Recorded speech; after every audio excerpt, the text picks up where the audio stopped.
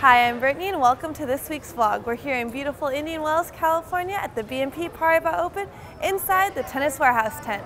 This week we'll be taking a look at some of my top picks for spring.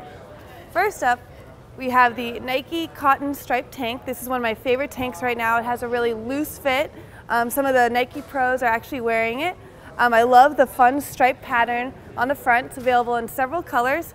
And on the back, it has a racer back with a contrast insert and actually mesh all the way down for great ventilation. Next up, we have this really fun Tonic Spring Rally Dress. This is the Blossom colorway, but it's also available in black and in white.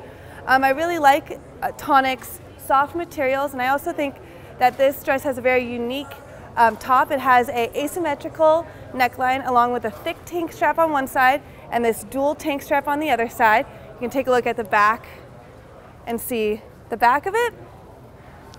Next up, we have a new brand here at Tennis Warehouse called Solfire. They really love these fun prints. As you can see on this Solfire City tank, it has a splatter, pat splatter pattern on the front.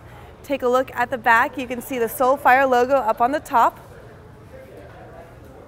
To match that tank top, we have the Solfire match skirt. This skirt has a built-in short that has a little bit of contrast pink color, kind of fun, and also that Solfire logo on that left side. For accessories, we have the Asics Spring Seco headband and wristband set. This is made out of 100% polyester, a little bit different, but it's um, fun colorway for spring.